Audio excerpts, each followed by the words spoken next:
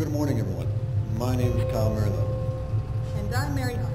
Thanks for stopping by for Daily News. Starting with our first story, more debate grows as the use of animatronics start rising. With the major popularity of places like Chuck E. Cheese's and Freddy Fazbear's Pizza, these machines are getting used more than ever.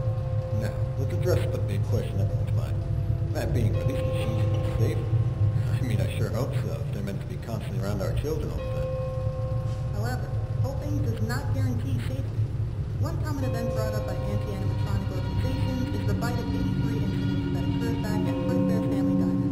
For those that don't know, the bite of 83 is referring to when the main animatronic Fredbear bit off the frontal lobe of a child while on stage. So it's completely understandable why the concern of these machines has grown so rapidly.